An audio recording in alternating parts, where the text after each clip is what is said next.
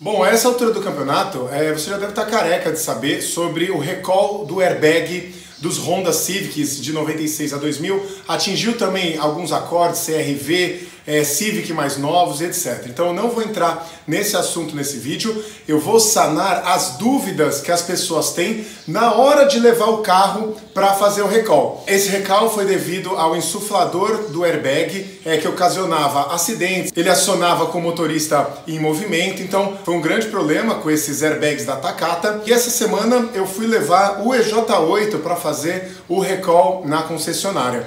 É, diante disso, é, muita gente teve dúvidas sobre volante esportivo, se o carro não passar, como que é essa parte de compra da Honda. Eu liguei com a Honda, falei com o engenheiro da Honda e sanei todas as dúvidas aqui e eu vou começar a falar agora para vocês. Bom, vamos lá. O procedimento normal, você leva o seu carro, né, que foi chamado a partir é, do chassis, você chega lá, eles vão fazer a troca dessa peça e tudo ok. Se tiver tudo ok com a troca da peça, o serviço dura uma, duas horas, eles vão te entregar o carro, depois de uma, duas semanas, no seu documento, no digital, vai sair aquela palavra recall e seu carro já vai estar apto para fazer transferência e tudo mais. Você vai parar de receber aquele monte de e-mail avisando que tem um recall para fazer. Agora vamos nos casos em que não é possível fazer o recall.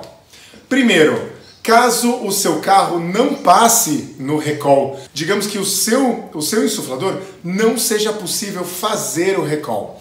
Nesse caso, é como vocês já sabem também, a Honda está comprando os carros, ou seja, tudo isso é feito após o recall. Caso o seu carro não passe no recall, eles vão entrar um acordo com você, vão analisar o seu carro e vão fazer a compra do seu carro. Não é possível você é, sair de lá simplesmente, ah, não fez o recall, simplesmente, ok, eu vou embora, não vai ter o recall. Isso é proibido. Eles vão ter que fazer algum procedimento após a não possibilidade de fazer o recall, tá? Então Vamos para essas alternativas. Caso o carro não passe, eles vão entrar num acordo, eles vão analisar o seu carro através não só da tabela FIP, é, mas vão ver estado geral e etc.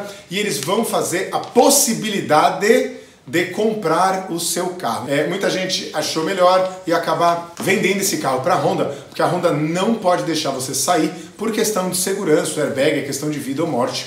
É, então é uma questão de lei muito séria essa parte de segurança. Agora tem as alternativas. E se você não quiser vender o seu carro para Honda, como é o caso do Coupé, eu fiquei com receio de chegar lá, o volante não puder fazer o recall e eles tiverem que comprar meu carro. Só que os Coupés, a tabela FIP, eles estão 16, 15, 16, 17 mil.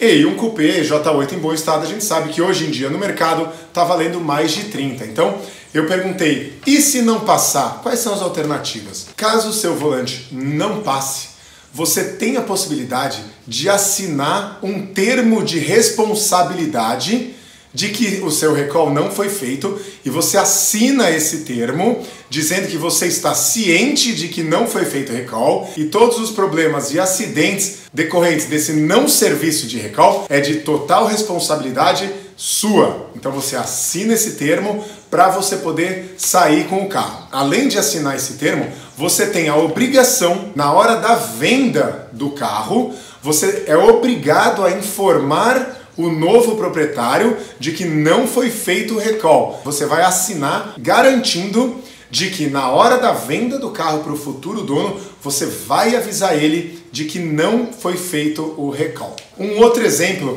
é, muita gente tem o carro preparado, tunadão tal, e ele vai com o volante esportivo. Então você não vai, você não tem o volante original. Obviamente, não é possível fazer o recall com o volante esportivo e nesse caso você também tem essas duas opções ou a venda do carro, ou assinar um termo de responsabilidade, exatamente como eu falei anteriormente. Agora vai uma informação que eu não consegui falar com a central da Honda e nem com as concessionárias que eu entrei em contato. Foi um amigo meu é, que me falou tá? Porque ele, ele acabou insistindo, falando nessa parte do recal, ele conseguiu essa informação, então não é uma informação oficial da Honda. Eles dizem que o grande problema que faz a pessoa vender o carro, né, a, a Honda comprar a, o carro, é que caso não tenha peça, essa peça existe sim, mas já que a espera vai ser muito longa, é, a pessoa não vai poder sair com o carro dela, caso ela decida fazer o recall, ela não vai poder sair da concessionária com o carro. Então, você imagina um, dois meses esperando uma peça, é, então eles dão esse procedimento da venda. Mas, esse meu amigo disse que ele conseguiu a informação de que tem a peça para fazer o recall. Pode demorar bastante, mas tem a peça. Então, caso você queira fazer o recall da sua peça, é, você pode esperar esse um, dois meses até a chegada da peça, provavelmente ela venha lá do Canadá, é, e você realiza o serviço. Então, é uma informação extra oficial, mas caso você insista, acredito que eles sejam obrigados a resolver esse problema no seu recalque. E lembrando que eu indico fortemente você fazer de tudo para realizar o recall, pois esse é um item de extrema segurança no carro e é o tipo do problema que você não vê.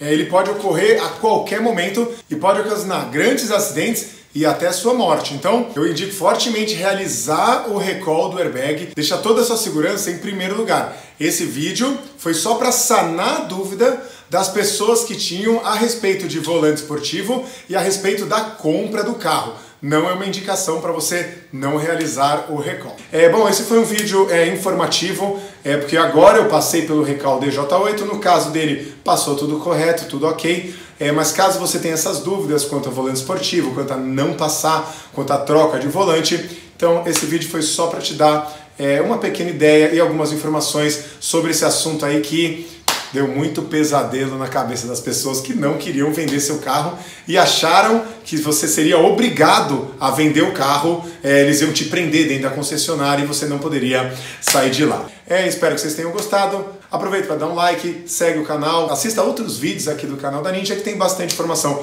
sobre os rondinhas e sobre os carros mais antigos, tá bom? Espero que vocês tenham gostado e muito obrigado. E siga o Instagram da Ninja Custom Cars para acompanhar o dia a dia aqui da oficina.